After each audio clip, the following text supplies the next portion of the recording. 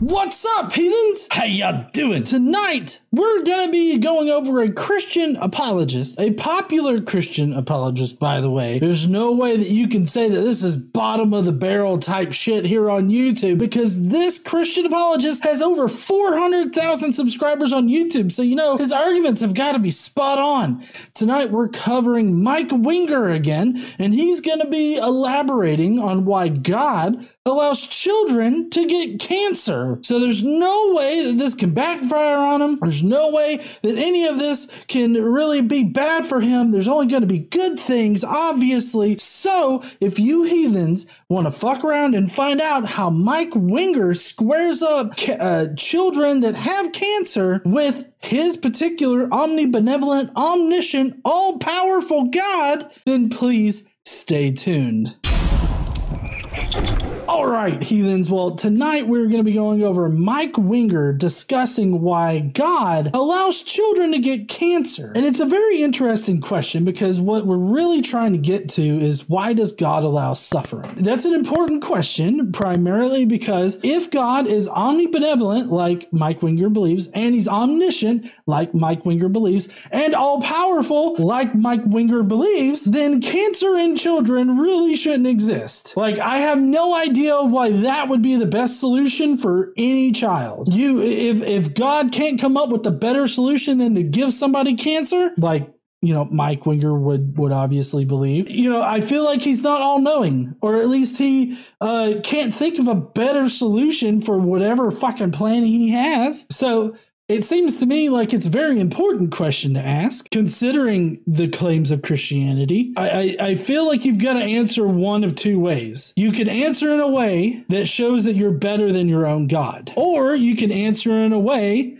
that sounds a lot like you're just giving God carte blanche to do whatever, and you're still going to naively, naively believe that He's an all good, all powerful, all knowing God. I feel like those are the only two ways that you could go about it, unless you just say, I don't know. I guess that would technically be the third way. I don't know, kind of, kind of deal. But, anyways, let's see how Mike Winger answers this particular question.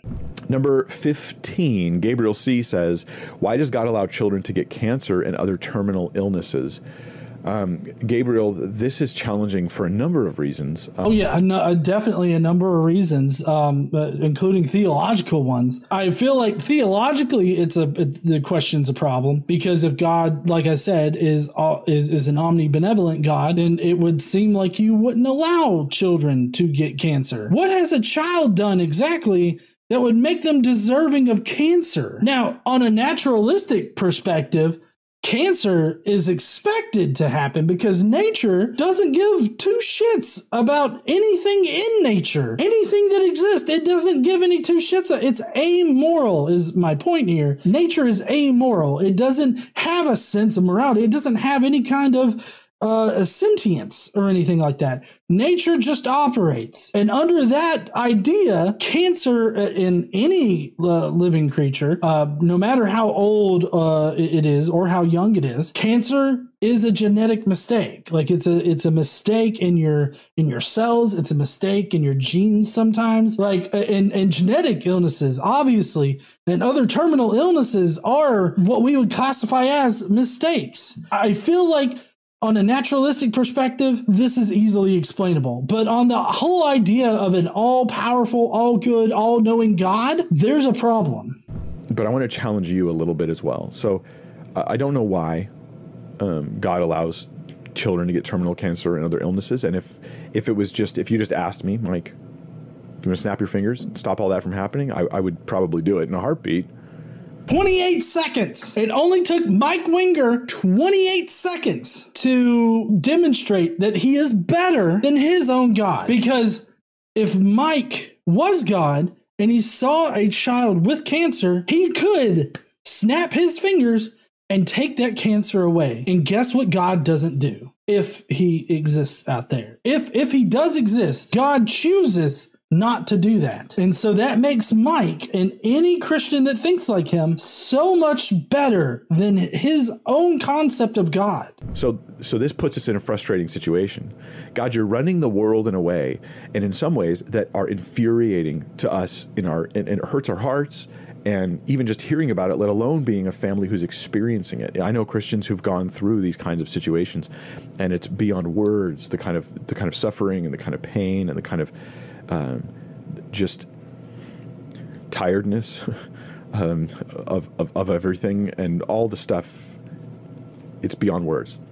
I agree. It is beyond words, and uh, I think that it's it's a horrible thing that happens. But again, on a naturalistic worldview where God isn't a factor, where there's nobody there to snap their fingers and magically cure people of cancer, uh, you know, that kind of thing happening, suffering happening is is well understood that that is just a fact of reality that suffering exists and there's there's nearly nothing that we can do to prevent suffering from existing. It will always exist. And I, I feel like introducing a God that could conceivably stop all suffering with a snap of a Thanos snap of his fingers. I, I, think that that gives you a lot of problems. Like there's a lot of problems in inserting that kind of idea into our reality. Because then you have to answer, well, why doesn't he do that? Why does he allow suffering? Why does he allow these horrible things to happen? It, it would seem that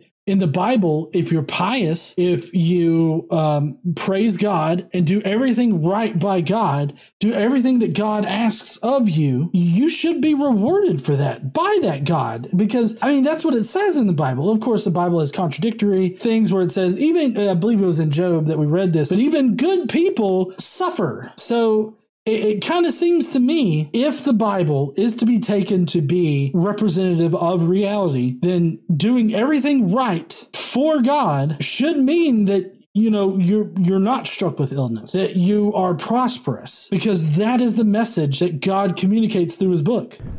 But here's the challenge I'll push back a little bit and I'll say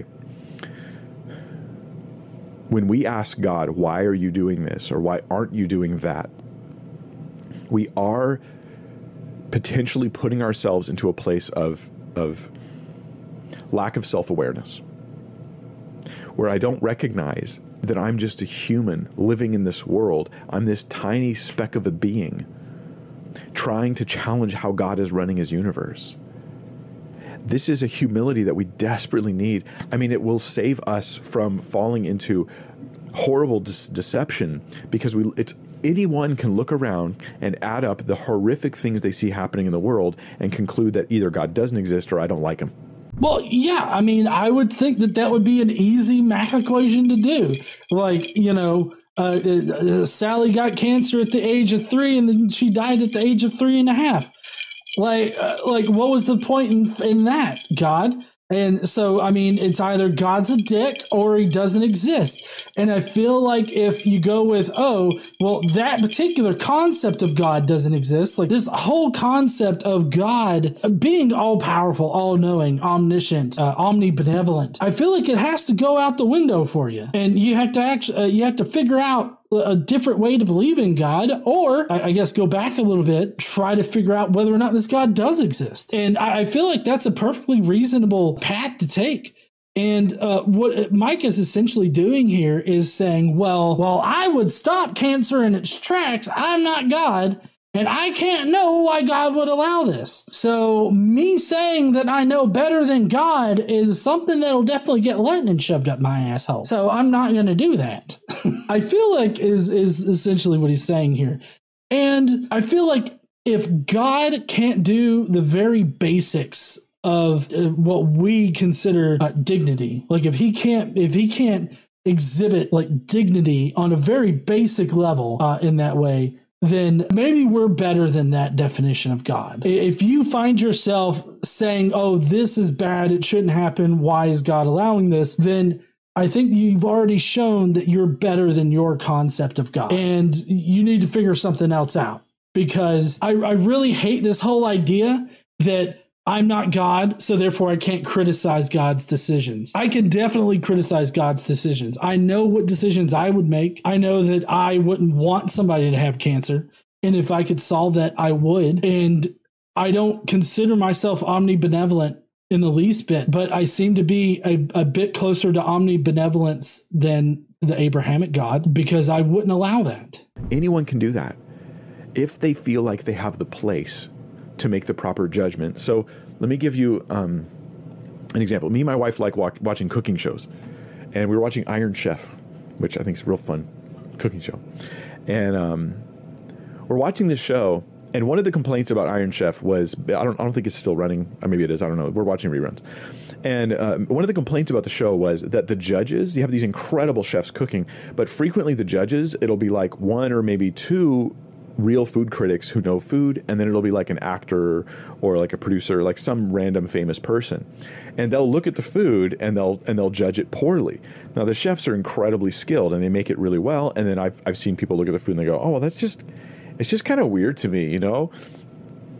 It just kind of tastes strange to me. Like I haven't had that before, and I, I don't know what's this sauce called again, you know. And and they're ju- the thing is they're judging and this is what struck a lot of people as odd with the show is that they have these famous people for ratings who are judging expert chefs to see who is the best expert chef in this scenario um, i don't blame the famous person for saying yes to go on the show and have a lot, have a good time but the producers of the show should have known better like somebody should have been like hey you are you are not in a in a place where you're informed enough to make a proper judgment about this issue.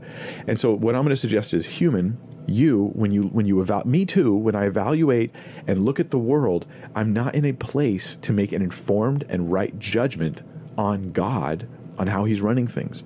Not in my knowledge, I don't know enough. Not in my wisdom, I don't understand things well enough, even the things I do know. Right? And not in my perspective because I'm looking at it from this moment and I can't tell you how many times in life I've grown out of a difficult season and I look back at it so differently.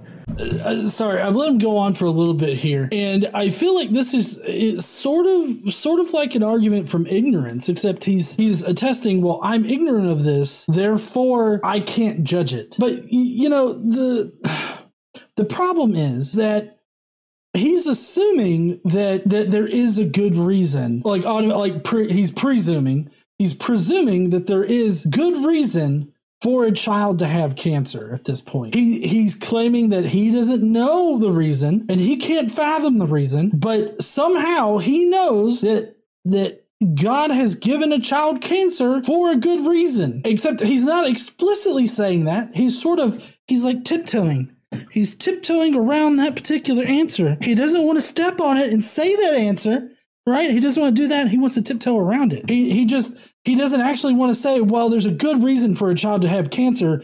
I just don't know what that is. But he's proposing it in a way that makes, I, I, guess, is a little detrimental to him, saying, Well, I'm just ignorant. I'm a lowly human. I don't know why God would do this. But and this is something, but something that I learned from my own therapist and in my own struggles with trying to know whether or not like I'm being a good parent to Xander. And I, I something that I still struggle with. Um, but you know, they would tell me, you know what you would and wouldn't do for your own son. I I know that it would be a bad thing for me to, you know, whip Xander with a belt. Like at least uh, in my own view, hitting Xander with some foreign object is just not something that I would ever do. Or, you know, uh, berate my son uh, into into feeling like shit or something like that. Like I would not do that to my son.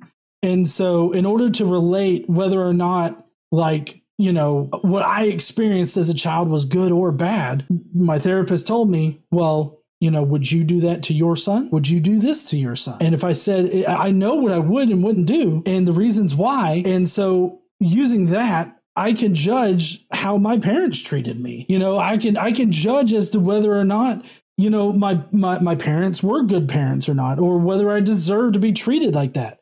And I feel like this can be transposed uh, onto this situation because Mike thinks of his God as a parent. If you're sitting there saying, I would not do this to my child or to my family or anything like that. Like if I could take that away from them and not and have them not experience that, I would.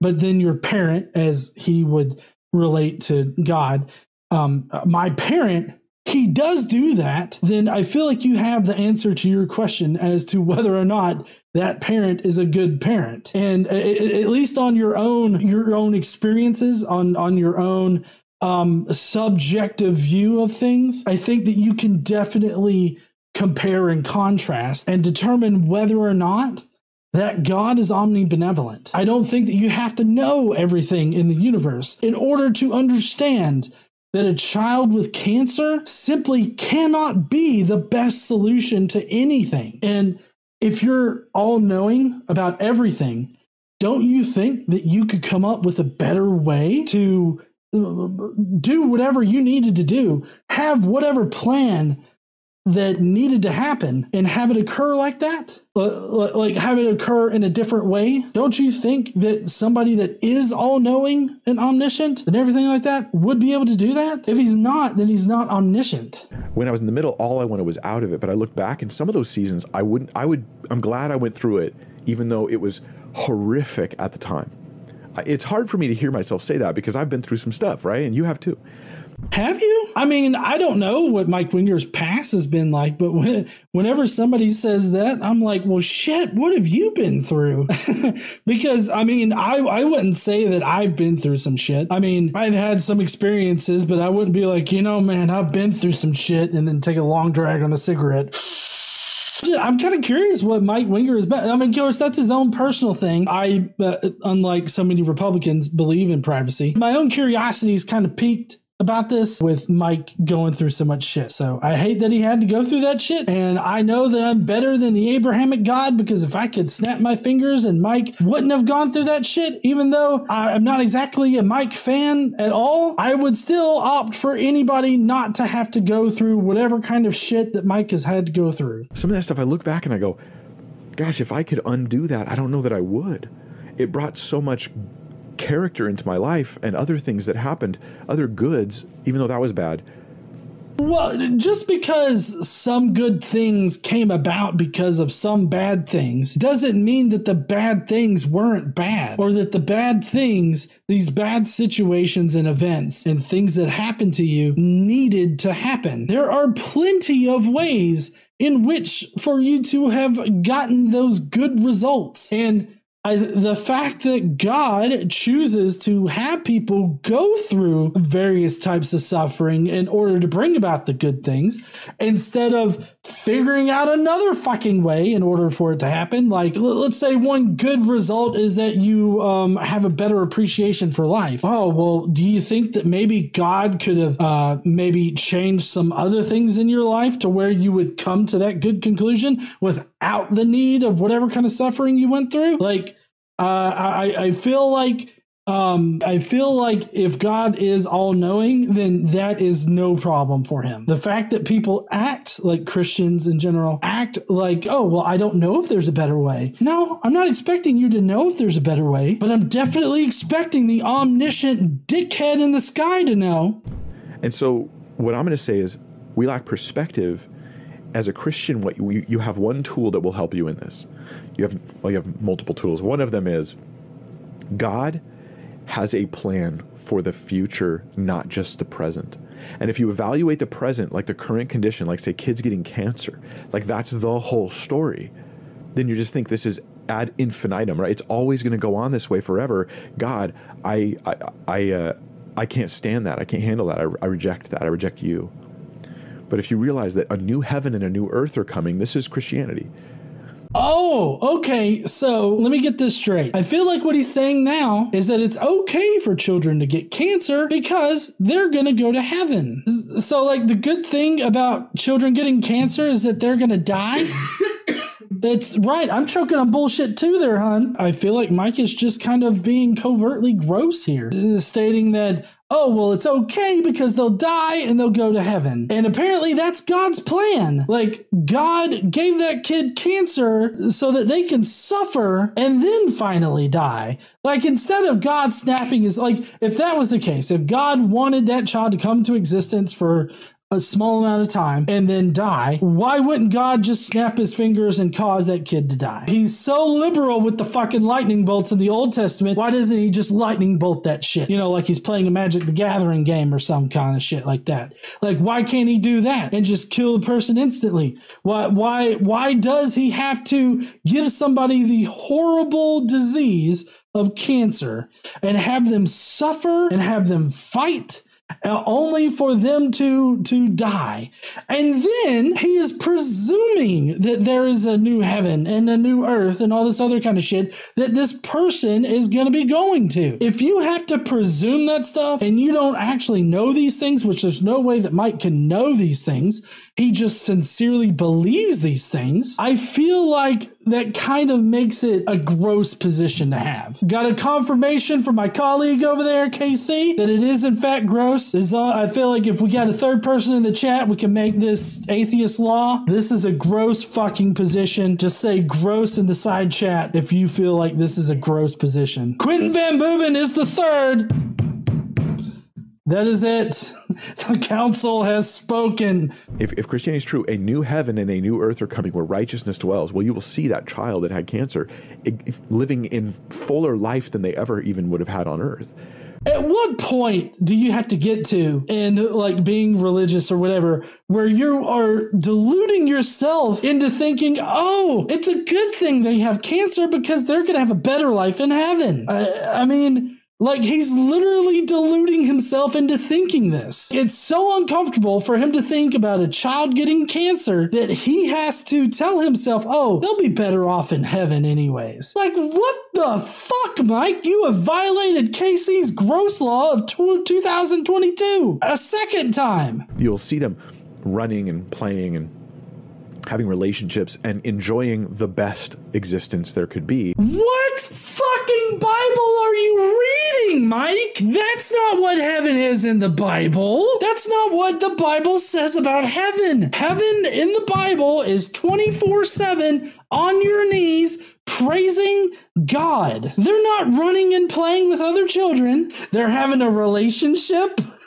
uh, I guess of some sort, but they're praising God 24 7 up there in this new heaven and new earth. He's literally making this shit up. He's like going to his, this is Mike's happy place. But basically, Mike is so uncomfortable thinking about children with cancer that he has to go to his happy place. He has to think about that child that had cancer is now in heaven without cancer, running and play, playing and frolicking in in the field.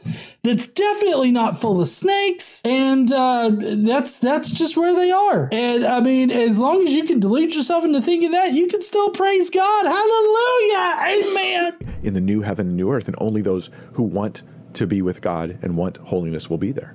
It'll be perfect. It'll be wonderful. It'll be it'll be holy, and it will last forever.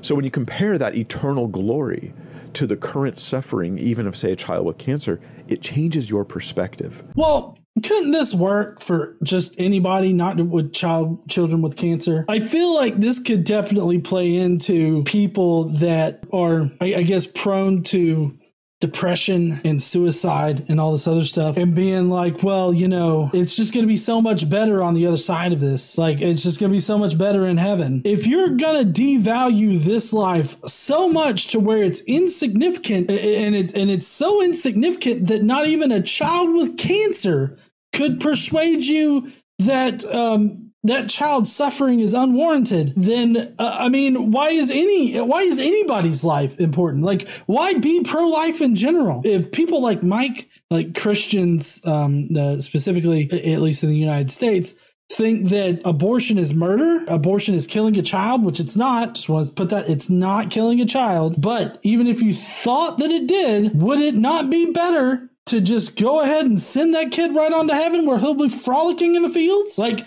could you not use this kind of reasoning in order to, uh, you know, uh, make cogent arguments for other things that Mike would definitely disagree with? Babies can't frolic? Fetuses can't frolic neither. Like using this particular argument, you could argue for so many things that Mike wouldn't like. And uh, I feel like it's a very dangerous thing. I, I think that anytime that you're deluding yourself into thinking the best outcome for the worst situations just all the time, I feel like you're just ignoring reality. And that's what Mike is doing here. It's it's too uncomfortable to think about children getting cancer, suffering, and then death just being the end of it as far as we know. Like that's uncomfortable for him. So he prefers this fantastical scene of frolicking children former cancer patients that are just the happiest they'll ever be for eternity. I don't know if anybody has seen Interview with a Vampire, but being a child forever sucks. Kirsten Dunst got turned into a vampire when she was a child, and it sucked for her. So I think I lack the wisdom. I lack the knowledge. I don't really know what's fully going on in the world. I only know the things I'm thinking about right now. I don't really have the wisdom to evaluate those things the way I probably need to. I tend to evaluate with my gut, especially when it comes to suffering. And I don't have the perspective that I will have later when I'm in his presence. And so those things to me change everything. So it, it changes everything for him to think about how much he doesn't know. But he knows enough to know that God exists, and he knows enough to know that God has a good reason for giving a small baby cancer or some kind of uh, blood disease or any other kind of disease, or for somebody to get graped, or for any of the horrible things that happen. Apparently, there's a good reason for that. I would hate, absolutely hate to hear Mike's opinion about the recent grocery store shooting, or any of the other shootings, or any of the unarmed uh, people of color that have been uh, uh, basically executed by the police. I would hate to hear his opinion on it because I guarantee it would violate Casey's law of gross. Okay? It would be a gross opinion and anything on suffering coming from Mike is going to be a gross opinion. Don't let him tiptoeing around the issue. Tip, tippy tippy toes, tip tiptoeing around the issue. Don't let that fool you about it. Try to read between the lines of what he's saying to what he's really saying. And what he's really saying is that there's a good reason for children to have cancer. There's a good reason for children to die. There's a good reason for these things, but only God knows them. That's how he gets around needless suffering in this reality. But I feel like deluding yourself into that position is really robbing yourself of figuring all this shit out for yourself. Uh, remaining in ignorance of things is never the best solution. I'll add to this Christianity has an answer to children who get cancer and terminal illness. Outside of Christianity, what on earth is your answer?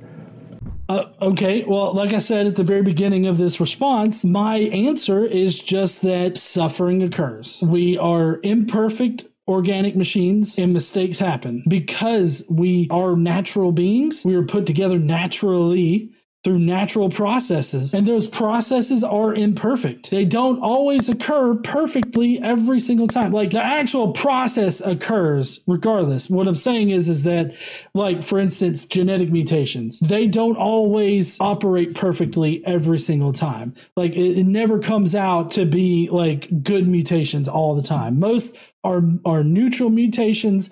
Some are bad and uh, a few of them are good. But the point is that these are imperfect natural processes, and the fact that children get cancer, while horrible, is something that happens in the world, and you have to come to terms with that. You have to understand that. But I feel like understanding that that shit happens and that there's no magical wizard there to correct shit or to give you fuzzy feelings about it, it motivates people to solve those problems, to solve that suffering, to try and make sure that that suffering doesn't occur to other people. I think that that's what motivates people. Of course, you don't have to be irreligious in order to have that kind of drive. You could think that God wants you to do this, God wants you to end that particular suffering. That's perfectly fine. But what I'm specifically talking about is Mike's position of fooling yourself into thinking that there's a magical wizard out there that's allowing this stuff to happen. He could stop it. He chooses not to. And while you don't know the good reason, you know that there's a good reason for it. And it all ultimately doesn't matter because we're all going to the new heaven and the new earth, anyways. I get Christians all the time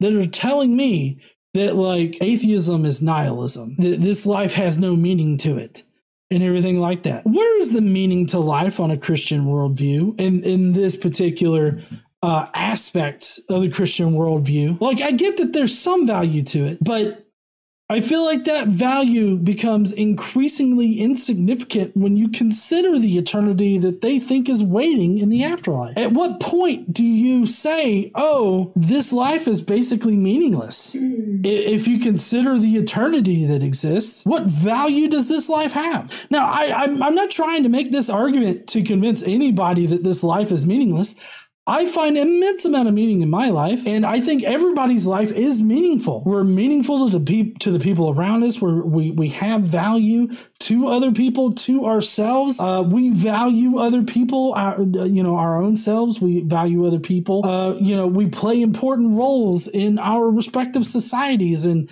and friends groups and everything like that. Like we have value in our life, but on this particular aspect of, of Christian theology, of not caring about the immense amount of suffering in this world because, oh, there's an eternity after this life where we're frolicking in the fields. I don't see the value in this life. I don't see why Christians, under this particular point of view, I don't see why Christians should um, be opposed to abortion if they think that abortion is uh, killing a child, I don't see the reason why they should uh, be opposed to it. Right. There could be millions upon millions of frolicking fetuses in heaven. I mean, they didn't even, uh, most fetuses actually, blastocysts, collection of cells, whatever, didn't even get to the point where they could even consider God or Jesus. So obviously they got to go straight to heaven, right? There's nothing that they did.